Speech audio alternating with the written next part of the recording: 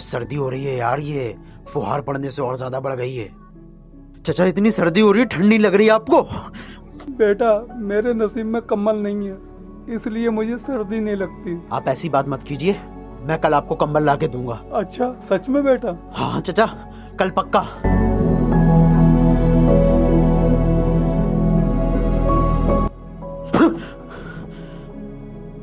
अरे हाँ उस गरीब को कंबल देने का वादा किया था।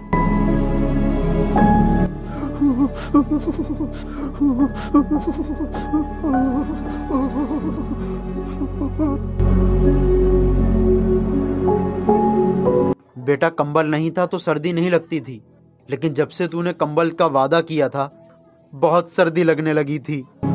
कोई वादा करो तो उसे पूरा भी करना। कभी कभी तुम्हारे वादे पर कोई बहुत उम्मीदें लगा लेता है।